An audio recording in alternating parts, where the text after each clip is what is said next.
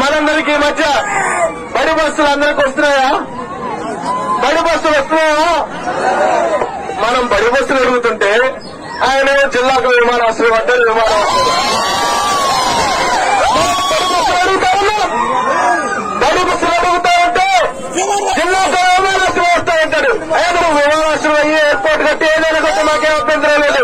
మా బడికి మాత్రం బస్సు పంపించు జగనన్న అని అడుగుతా ఉన్నాం.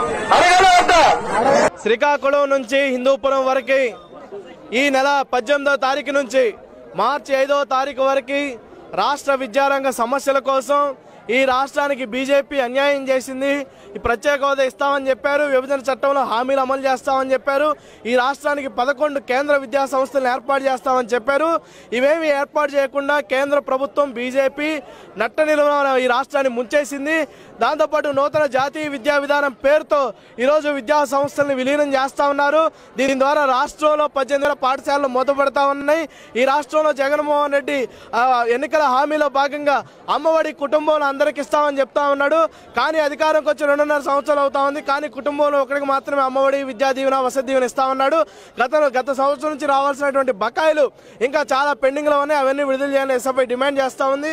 ఈరోజు ఎయిడెడ్ ఏడెడ్ ఎయిడెడ్ కాలేజీల్లో ముక్కుతాడుగా ఉన్నటువంటి జీవో నెంబర్ ముప్పై ఐదుని నలభై రెండుని యాభైని రద్దు చేయాలని ఈరోజు ఎస్ఎఫ్ఐ డిమాండ్ చేస్తూ ఉన్నాం.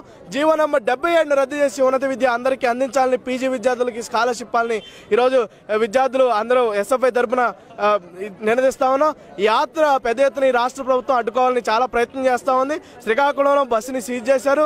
ఎక్కడి నుంచి కూడా ఈరోజు ఆరో తారీఖు నరసాపురం పట్టణానికి చేరుకున్నాం. ఇప్పటి వరకు కూడా ఈరోజు పోలీసులు పెద్ద ఎత్తున నిర్బంధాన్ని ప్రదర్శిస్తూ ఉన్నారు. మేము అడుగుతా ఉన్నాం ఈరోజు ప్రత్యేక హోదా అడిగితే మీరు ఎందుకని ఈరోజు మా యాత్రను అడ్డుకుంటున్నారు? ఈరోజు రాష్ట్రంలో విద్యారంగంలో సమస్యలు అడుగుతుంటే ఈరోజు మీరు ఎందుకు యాత్రను అడ్డుకుంటా ఉన్నారు? కాబట్టి మీరు కనుక యాత్ర కనుక మరింత పర్మిషన్ ఇవ్వకపోతే మేము ఎలా యాత్ర నడపాలో ఇప్పటివరకు ఆరు రోజులు ఎలా నడిపామో మాకు తెలుసు. ఇంకా మార్చి ఐదో తారీఖు వరకు యాత్రను అలాగే కొనసాగిస్తాం. ఖచ్చితంగా మార్చి ఐదో తారీఖున సబ్బెట్టి హిందూపురంలో సబ్బెట్టి తీరుతాం.